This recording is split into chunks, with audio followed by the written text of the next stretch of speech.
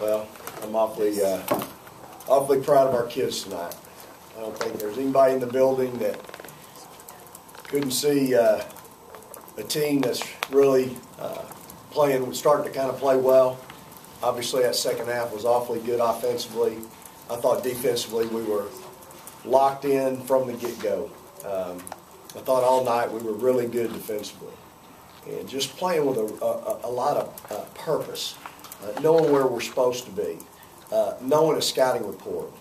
Um, I'm going to brag on Tori a little bit. I've noticed her in practice, shoot arounds, day before. She's really paying attention when she's out there and we're going through somebody else's sets. And, and, and that's something that maybe three weeks ago wasn't the case, but she's maturing. She's still obviously a freshman. These two seniors understand the importance of that. They've been with me now three years. They know that we spend endless hours developing those scouting reports, and they know how important they are. But uh, just really, our entire team, I thought, was dialed in on that end. And um, again, it, it, it, just makes all the difference in the world um, having uh, uh, kids make shots. And I thought we had kids step up and make shots tonight. First half, you know, we're up 11. If we don't have Kendra Grant, you know, it's it's an ugly tie ball game probably at half. Victoria gets two fouls. I got to bring her out. And you've got a senior, a veteran like her, that comes off the bench. First two, bang, bang. She knocks them down, doesn't even think twice about it. Runs a great set. Uh, our, yeah, Martha sets a great screen for it in the half, but she knocks down the shot. I mean, you, you just, you, I can see us getting better. And I think that's really encouraging right now. It's a good time to get better uh, because the buzzsaw's in front of us. But uh, just, you know, we talk about playing with passion, playing with a purpose, entertaining people. I don't think any of those 5,000 plus in there were not entertained tonight. That place was loud, it was electric. Um, you know, the good Lord just has really blessed these young ladies. He's blessed me with a tremendous uh, team this year and uh, tremendous staff, and, and it's all, you know, there tonight was just one of those nights where it kind of all came together. In that first game against Vanderbilt, they had a lot of high percentage shots. So they shot a high percentage. Is that was that really a point of emphasis in this game because you really cut down on those? Well, yeah, I mean they had seven layups after makes and misses for 14 points. They went to the line 42 times, so you know we knew we had to defend better. And so those were two things just right there off the top that we really wanted to focus on was make them score over you, not by you. And then uh, again, Martha was still kind of in her trying to find her way. And uh, and again, we you know they played really well that day. We'll give them credit, but uh, boy, tonight our kids really flipped the switch and uh, flipped the page on them. And I thought we were the aggressor. I thought we were out executed them, and uh, just really really pleased with our performance tonight. Was tonight as good as you guys have played in the league? Well, I'd, I'd have to say so, especially second half, offensively and defensively. But you know, again, you hold somebody to 44 points. Uh, I mean, Coach Balcomb's a heck of a coach. Um, they always run great offensive sets. They run a bunch of them. Um, these kids have been through all of them for two straight days in a shoot around. And uh, so, you know, we had our hands full defending them. They're physical. That team's as physical as anybody in the league. Inside, when they post up now, they, will post up. And uh, so uh, we just, uh, again, I, I'm proud of our kids for meeting and exceeding their intensity, their physicalness, um, all those things, because I thought we really took the fight to them tonight. Kendra, what was the difference for you tonight? You only had one field goal up there, three, but here, two threes in the first half. So just talk about um, Well, like I always say, when coach, uh, when you're coming off the bench, uh, you want to fix what's broken, and if nothing's broken, just keep it going. So, uh, I mean, you know, Tori, you know, draw, got her two fouls, and so I just wanted to keep the energy up, and if it wasn't enough energy, just you know bring it. And uh, the first shot, it felt good, and the next one, I just didn't even think about it, so I just put it. So I just really just let the game come to me. You know? How big was that um, that sequence when you hit back to back threes and kind of got the offense going, hit the big shot right before halftime? Uh, I think it gave us a lot of momentum. Uh, like I said, I just wanted to bring energy and just keep it going, and uh, we had cut the lead well, they had cut the lead a little bit, but I just, you know, wanted to just keep it going. Victoria, uh, Coach Balcomb said that uh, she could sense that you got hot there in the second half.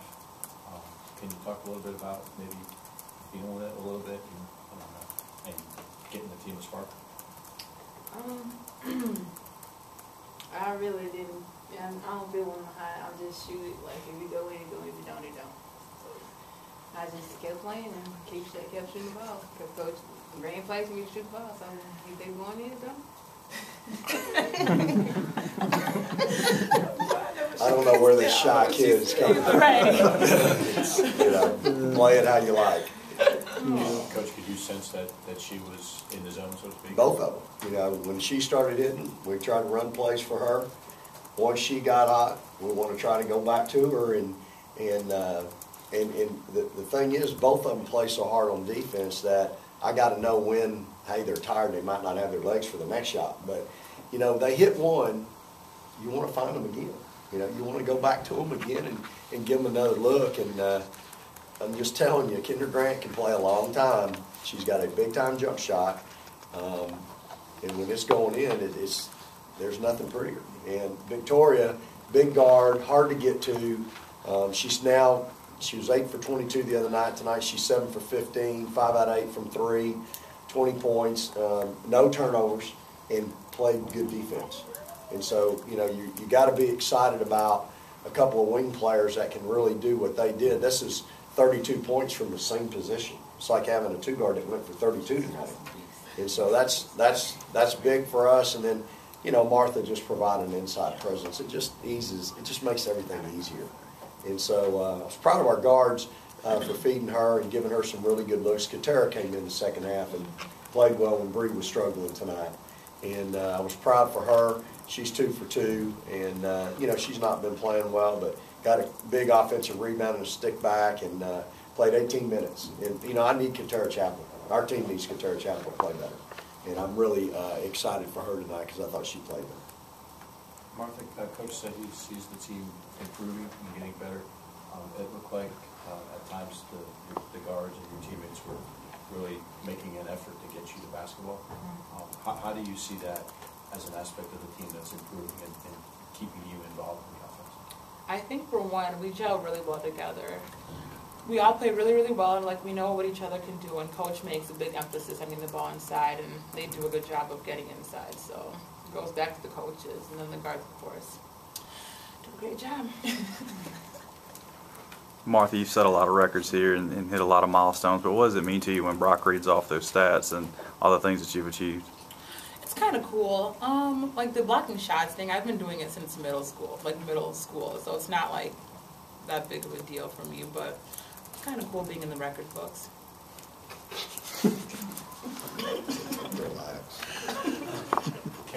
Uh, to, to Coach's point earlier about seeing the team improving, um, how, how do you see the, the team uh, learning how to handle the zone better, you know, getting into the gaps and, and feeding the post, or just running your man offense and, and playing better defense?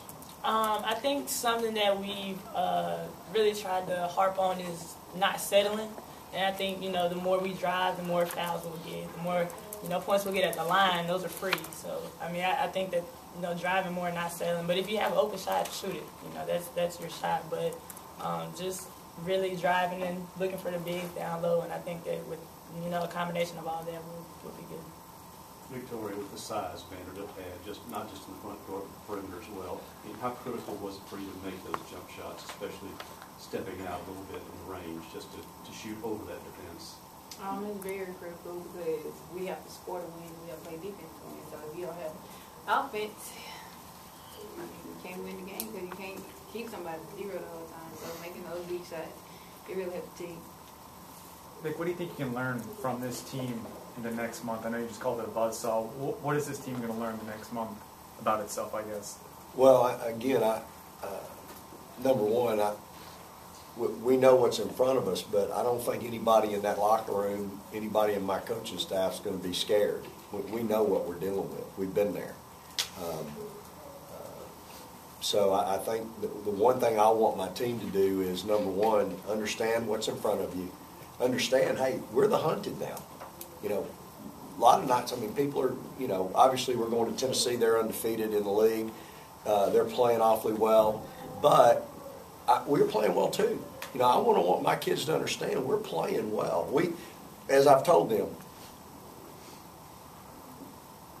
we're big, We're physical. Uh, we play hard. I got a senior point guard.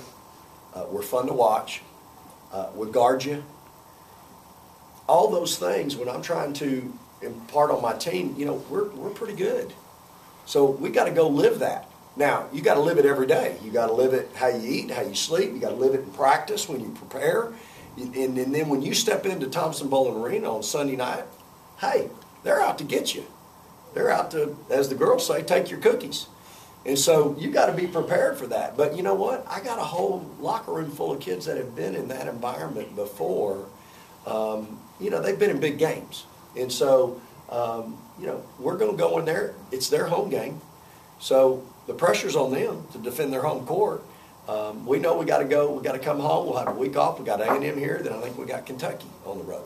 So, you know, four, the top four teams are in front of us. But hey, embrace that, live it, uh, and that's what I've been trying to tell these kids.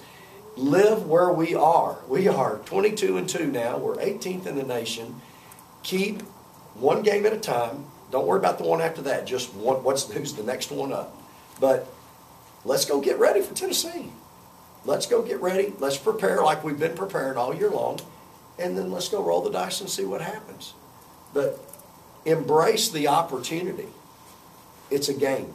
It ain't life and death. It's a basketball game. Let's go play.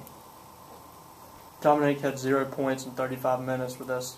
I mean, you look at her stat line, not that impressive, but do you think she's one of the most important players on the floor on each side of the ball, not just defensively but offensively? I, mean, I guess I guess that's a yes. Yeah, I mean, it, you know, you, you, you can't get tied up in the first stat line with her. Um, you know, she's she's just a tough, hard nosed cookie. You know, she defends. She always gets everybody's best player.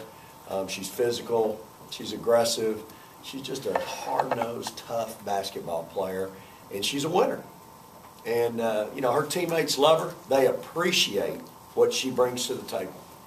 And uh, you know, some nights it's offense, most nights it's not. It's the intangibles. It's the, the hustle plays. It's the things that get your crowd going. It's it's all those things. that's blocking out and getting a critical rebound when you need it. So, um, yeah, I mean, she's either real important or I'm an idiot for playing her 35 minutes. So, I'm gonna, let's say that I'm not an idiot. Any other questions? Coach Balcomb said that she's been coming here 13 years, and she thought tonight was the first time she's ever seen that building loud and intimidating. And she said a lot of credit goes to you and to your players. I mean, I, I thought that was high praise coming from an opposing team to come in and say, hey, that place was intimidating. Well, it is. I mean, I, I've said that now. We've we've developed a home court advantage. Uh, we've developed a crowd. We've developed a fan base. I don't think there's any free tickets out there. You know, people are paying to come in. We only sold 2,000, a little over 2,000 season tickets, so people are paying to come see a great product. And I'm, I'm just, you know, I said it three years ago when we took this job that we would do it. And, and part of the program is not just players and staff, but it's this. It's the atmosphere. It's the fan base. It's people tuning in and watching on E ESPN3 and watching on ES, ESPN Plus and watching uh, the network games and, and texting afterwards. And it's all that. That's, that's part of the program. And, and it's just a credit to our kids. It's a credit to our staff. Uh, it's a credit to our administration for believing that we can do it. And again, I don't think there's anybody that's been at these games that doesn't believe it's happening. It's not happening because it is. It's happening, and uh, I appreciate those comments from Coach Balcomb. Means a lot. Again, that's a great coach, um, veteran, been around a long time, had a lot of great teams, and uh, that team will bounce back. So I appreciate that, and again, it's happening, y'all. It's, and it's a great environment. It got loud in there tonight. And what was really fun was when we when we when we made some substitutions, it seemed to get louder. You know, and, and that that was neat. That's neat for those kids. You know, it's neat for them to experience that, feel that, and the emotion that's in that building. I mean, it's just electric, y'all. So, uh, it's an exciting time right now, and uh, we're we're just glad that we're able to play a part of it, and appreciate the media and everybody, and uh, we'll we'll go on to the next one. All right. Praise the Lord and go dogs.